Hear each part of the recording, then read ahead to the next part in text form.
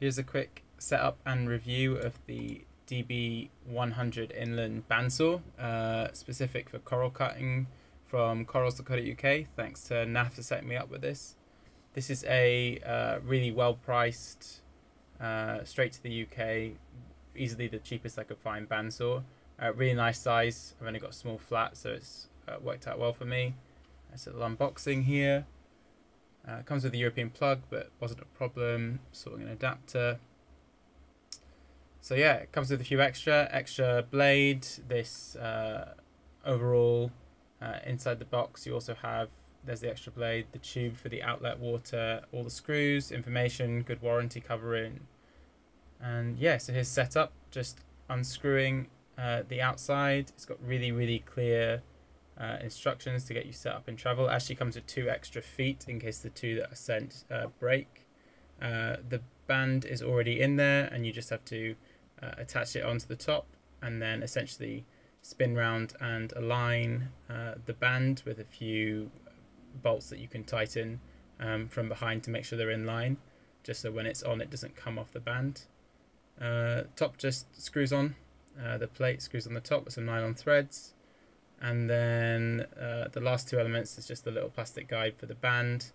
And uh, the water reservoir on the top I used salt water um, when I set mine up because this is uh, it, the whole thing is made out of a composite uh, plastic so there's no corrosive elements at all. So salt water is uh, perfect with this uh, rather than you know standard RO water so once that's screwed up and set on, the only piece I couldn't get to work was this tiny little piece of leather that you're meant to put in. Uh, it's kind of optional. Uh, it just cleans the blade on its way back up, but it was a little too thick. So uh, yeah, here's the first coral I'm going to cut. It's uh, a Favia, a really nice big golf ball of a coral. Couldn't really cut this any other way. It's kind of exactly why I got the got the bandsaw. Um, it's just like a hot knife through butter. It's amazing, really really quick, um, really easy to guide the band. Uh, make sure that you're not cutting through any heads. Uh, you can obviously add like three dimensions to the way that you're cutting as well, which is great. Um, this was a mixture of, you know, obviously the, the thick skeleton of the coral, but also a, a plastic glue mixture. Um, and it struggled a little bit more with the plastic glue, but still got through it easily enough. Just needed to add a little bit more water to the blade to get through that.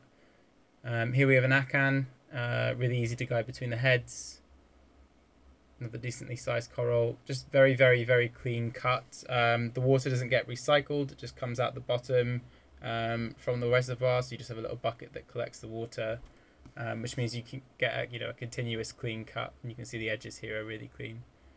Um, then we have a, a torch I think. Uh, quite a big torch. This was a really long cut but this was probably the easiest one of them all because it was just a straight line. Um, really really fast really clean you can see there that's a good two three inches. And last but not least was a maze coral or brain coral. Uh, this was quite delicate coral um, but it was really really easy to follow along um, and you know cut, cut between the different uh, polyps on there. And uh, this is probably the easiest one to see the quality of the drill piece. Like, look at that cut really clean all the way around and then just finishing up by uh, cutting it into individual small frags. So yeah really really happy with this bandsaw um, thoroughly recommend it. It's on a really, really good um, introductory price at the moment as well.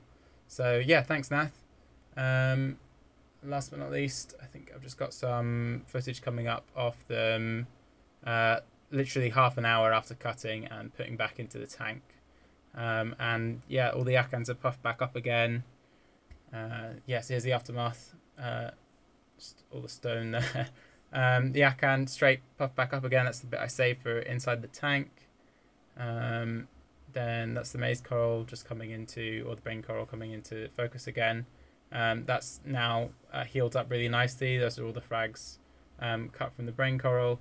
And then, uh, yeah, on the side, uh, oh, yeah, that's a torch. You can see the big thick pieces are cut off, and another torch I cut previously.